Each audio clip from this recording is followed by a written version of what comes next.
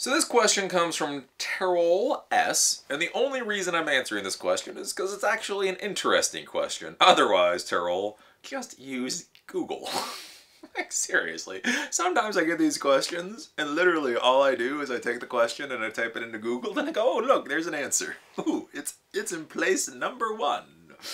Um, but anyways, um, let's see. Uh, I have a question that I need your help with. I have an analog camera that's running over coax cable. I'd like to replace it with an IP camera, but I want to use the same coax cable. How can I get this done? Please help! Use Google. So, uh, whenever you're dealing with uh, any kind of cable uh, media, uh, that is different from the one that you want to use. Uh, basically, all you need to be looking for is some kind of adapter for it, you know, right? So, uh, so if you want to turn um, uh, basically, you know, Cat5 into coax, you, you look for a Cat5 to coax adapter. I mean, that, that, that's really all there is to it.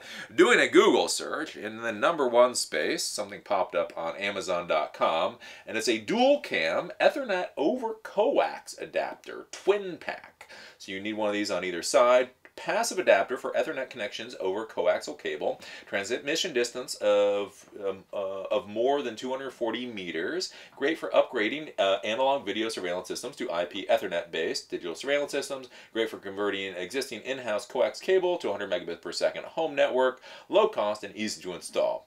Um, the only thing that I will say with this is low cost is of course eye of the beholder. Uh, these little guys cost uh, 94.95 as of right this second.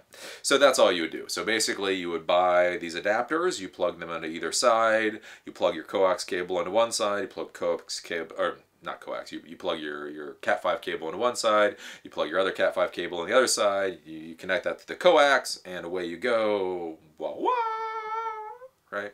Um, but Google is a beautiful thing. Google is an absolutely beautiful thing.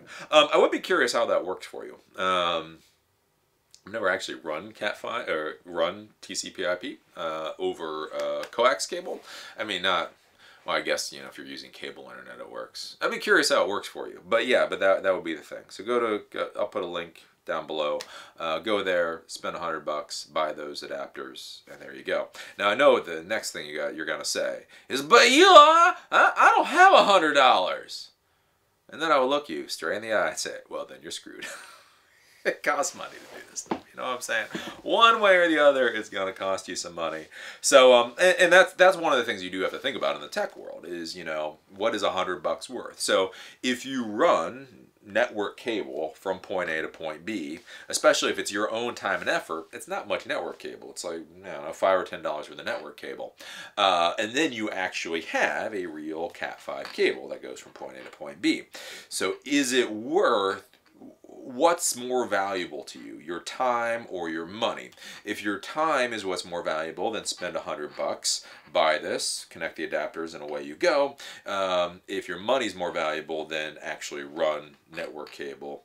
Uh, and the nice thing too is like whenever you're whenever you're swapping out cable, one of the cool things that you can do, one of the tips of the trade, is all your holes and everything have already been drilled, right? You know, when you're running cable, the the, the, the real pain in the butt is you've got to drill all these different holes and you've got to figure out like how to fish the cable properly, right? You know, fishing cable through a building again, it's not not overly complicated, but you really do have to think about it. It's like, okay, you know, we're going to come into this room and we're going to cut this way and we're going to go this way and we have to pull them.